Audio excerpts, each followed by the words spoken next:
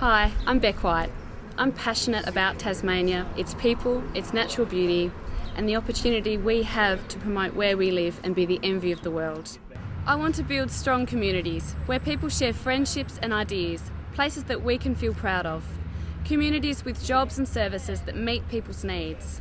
I grew up in Lyons, I went to school here, and I've made my home here. I know the local issues because I am local.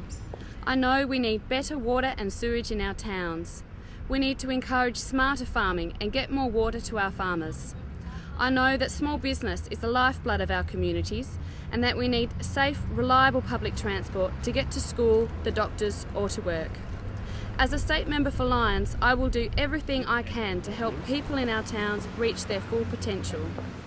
I want to be a part of David Bartlett's Labor team and a team that's going to take Tasmania forward.